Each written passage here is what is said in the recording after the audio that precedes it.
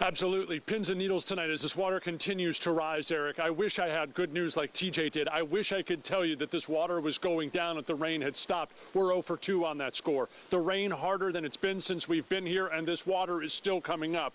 Beyond that woman kayaking there is Peach Creek, which continues to rise. The homes that are beyond me already have water in them. They're getting more as we speak. At least a, a foot in the homes right where I am standing, far more as you work your way down this street. It gets deeper. Uh, the people back there were told some of them are moving some animals around, trying to get anything that they can up as the water has already entered their home. We've talked to some people as you work into the dry spot of this street here, Dunham Place in uh, the north side of Kingwood, who are awfully nervous about this water continuing to rise. In Harvey, all of these homes were underwater. So all of these homes have been rebuilt since then. And now they're facing this again.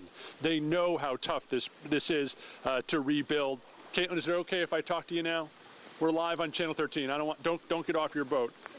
Just a second. Just a second. Tell, tell me what it's like back down at the uh, end of the street. Um, it's pretty deep. It is. It's pretty and, deep. And and what's it like? In, you live down that way. Yes. And what's it like inside your home right now? I got three, almost four feet. Keeps coming up, so. And what were you able to get up before you left? I managed to get my couches and everything elevated, but my floors buckled, so it kind of made everything just tumble over. You, you said you were trying to get in the first time and you couldn't get in. The floor had buckled so much you couldn't open the door. Yeah, I did. It's awfully scary to, to sort of watch this and know that it does. The water is still coming up.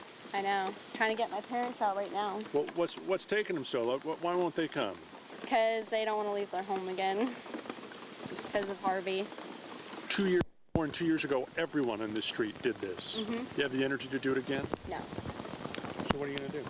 I'm, I'm gonna move on a mountain. You find, find a mountain, find Houston's mountain. I guess something. Does suck. It, it's awful. Good luck. You made a ton of trips. How are your arms? They're tiring. I know. I've, I I've watched. to get my dad's key to move his truck over here. Yeah. Good luck. Good luck. I hope you're going to be okay.